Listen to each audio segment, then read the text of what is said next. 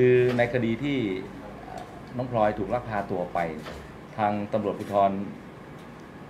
สถานีตำรวจภูธรท่าเรือจังหวัดพระนครศรีอยุธยาก็ทำคดีแล้ว ได้ออกหมายจับไว้ตั้งแต่ปี 2557 นะครับค่ะเดือนกรกฎาคมก็มีการ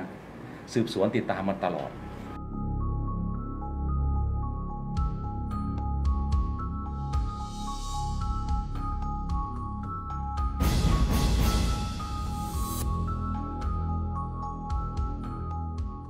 จนกระทั่งชุดของท่านพลเอกศรีเวลารังสิพรามนกุลก็จับกลุ่มตัวได้อย่างที่สื่อมวลชนทราบ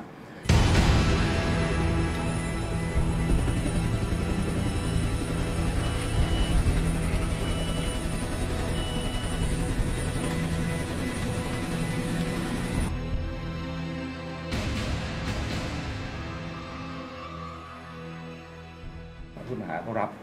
ว่าได้ได้ฆ่าน้องพลอยแล้วก็ นำศพมาเผาทำลายในเขตอำเภอแก่งคอย จังหวัดสระบุรี ทางท่านศิวราก็สั่งว่าในช่วงที่เกิดเหตุประมาณปี 2557 นะครับ มีการพบศพในพื้นที่บ้างหรือไม่ ตามที่ผู้ต้องหากล่าวอ้างนะครับ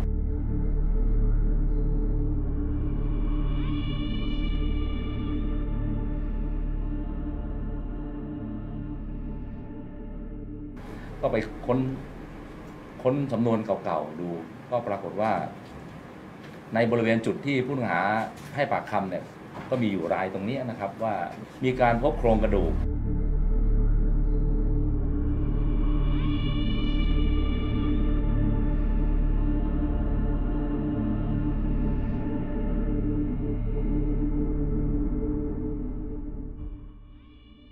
เมื่อเดือนพฤศจิกายน 2557 นะครับขณะนั้นเป็นโครงกระดูกนะ ชาวบ้านไปเจอทางท่าสวนก็ทำสำนวนชันสูตรพลิกศพขณะนั้น เราก็ทำเป็นสำนวนศพไร้ญาตินะครับคือข้อมูลไม่เชื่อมต่อกันนะครับก็ติดตามหาว่าโครงกระดูกเนี่ยเป็นโครงกระดูกของใครสาเหตุการตายก็ทำมาตลอด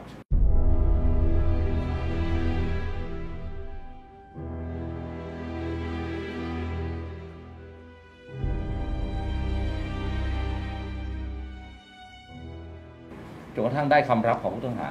ซึ่งมันตรงนะฮะจุดที่ผู้ต้องหารับมาขณะนั้นผู้ต้องหาถูกควบคุมตัวอยู่ที่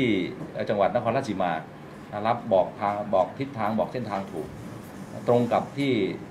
ร้อยเวรของสถานีตำรวจภูธรหินซ้อนค่ะได้ไปตรวจที่เกิดเหตุนะสำนวนก็มาตรงกัน เพราะฉะนั้นในส่วนของทางสระบุรีเนี่ยก็จะทำเป็นคดีฆ่าผู้อื่น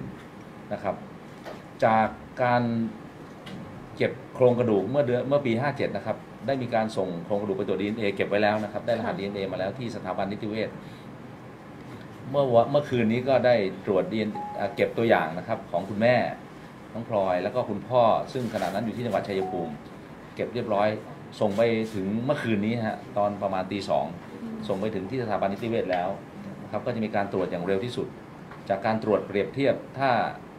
ตรงกันนะฮะรหัสรหัสดีเอตรงกันก็คงจะเอ่อ สรุปได้ร้อยเปอร์เซ็นต์ว่าโครงกระดูกที่พบเป็นของน้องพลอย